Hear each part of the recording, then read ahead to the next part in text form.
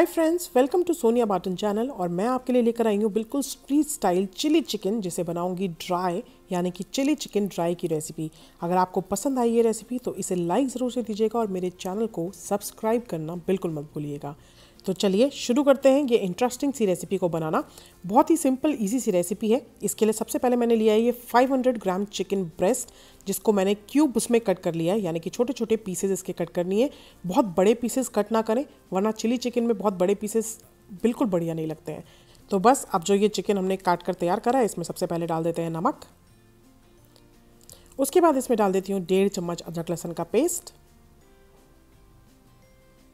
साथ साथ ही इसमें जाएगा एक चम्मच कश्मीरी लाल मिर्च पाउडर, आधा चम्मच काली मिर्च पाउडर साथ साथ एक अंडा और ये चार से पाँच टेबल स्पून मैं इसमें डाल रही हूँ कॉर्नफ्लावर।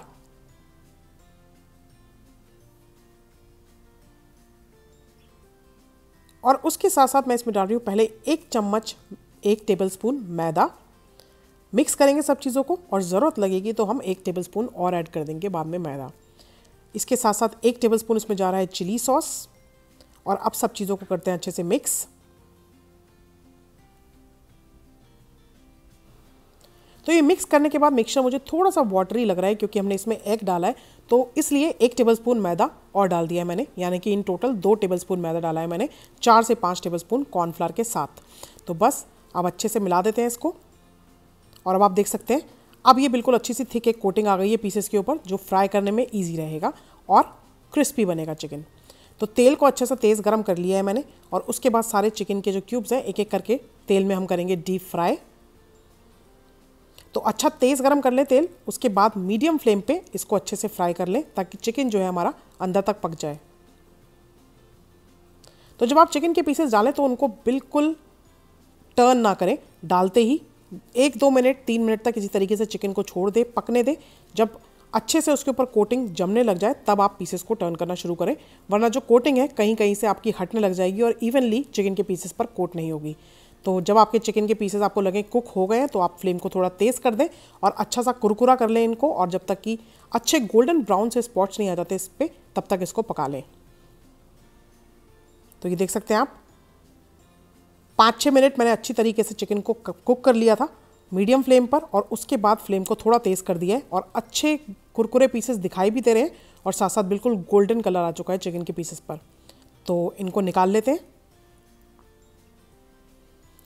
तो इस तरीके से मैं एक स्ट्रेनर में निकाल रही हूँ पीसेस को, जिससे कि बिल्कुल हमारे चिकन के पीसेस सॉगी नहीं होते, इसी तरीके से क्रिस्पी रहेंगे चिकन के पीसेस तो ये दूसरा बैच मैंने डाल दिया है फ्राई होने के लिए और ये तैयार है पहला। ये देख सकते हैं आप चिकन परफेक्टली कुकड है अंदर तक और बाहर है क्रिस्पी कोटिंग तो देखते हैं कितनी क्रिस्पी है ये।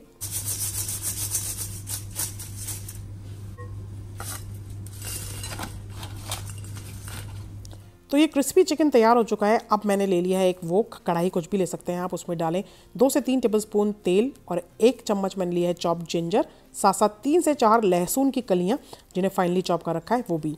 तो ये चॉप किया हुआ अदरक लहसन जो है, इसको हल्का सा भून लेते हैं हम तेल में। फ्लेम मैंने इस टाइम रखा है हाई, और उसी हाई फ्लेम पर अब मैंने इसमें डाल दी हैं दो से तीन कटी हुई हरी मिर्चें, और हाई फ्लेम पे ही सब चीज़ों को हम पकाते जाएँगे।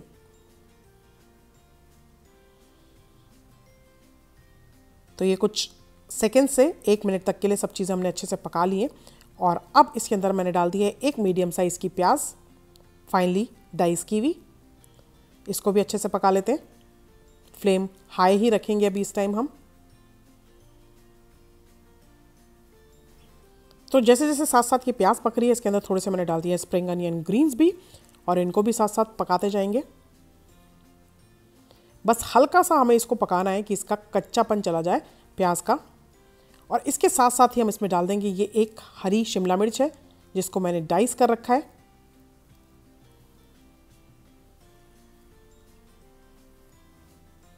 तो ये शिमला मिर्च के साथ इसको एक दो मिनट तक हम पका लेंगे।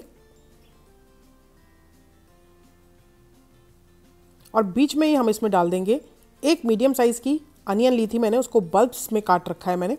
तो ये अनियन बल्ब्स इसमें डाल दिए। क्योंकि अनियन बल्ब्स बहुत जल्दी सॉफ्ट होने लग जाते हैं, इसलिए इसको बाद में डाला है मैंने। शिमला मिर्च को थोड़ा सा पकाकर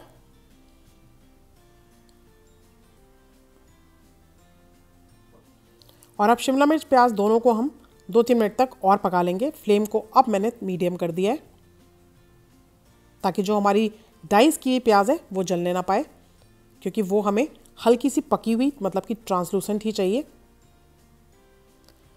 तो मैं इसके अंदर डाल रही हूँ थोड़ा सा स्ट्रीट स्टाइल इंडियनाइज वर्जन बना रही हूँ, इसलिए थोड़ा सा मैं इसमें डाल रही हूँ कटा हुआ बारीक धनिया। अगर आप नहीं डालना चाहते तो बिल्कुल स्किप कर सकते हैं। पर ये पर्सनली मुझे जो सॉसेज हैं जब कोट हो जाती हैं, उसके अंदर ये कटा हुआ बारीक धनिया, बहुत ही बढ़िया फ्लेवर तो ऐड करता ही है और दिखने में भी बहुत बढ़िया लगता है। अब इसके अंदर डालना शुरू करेंगे सॉसेज पहले गई है इसमें एक tablespoon hot chilli sauce उसके साथ साथ एक से दो टीस्पून डार्क सोया सॉस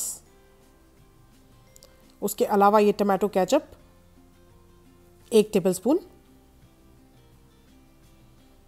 एक टीस्पून वाइट विनेगर और बस, आप सब चीज़ों को अच्छे से कर देंगे मिक्स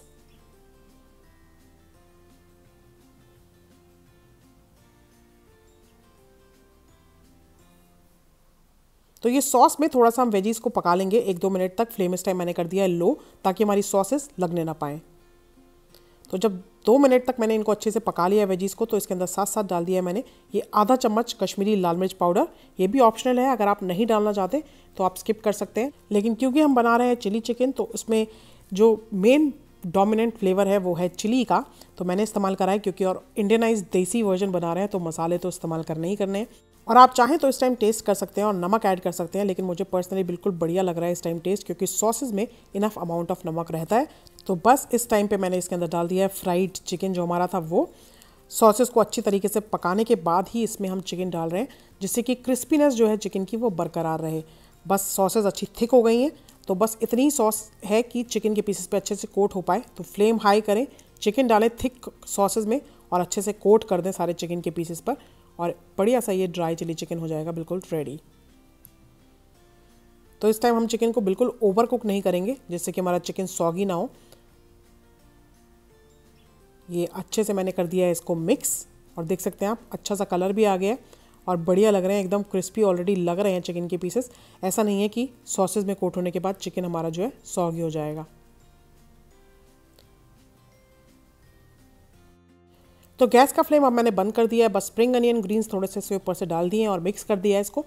और अब मैं इसको करने वाली हूँ गर्मा गर्म सर्व और इन्जॉय करने वाले हैं हम ये चिकन चिली ड्राई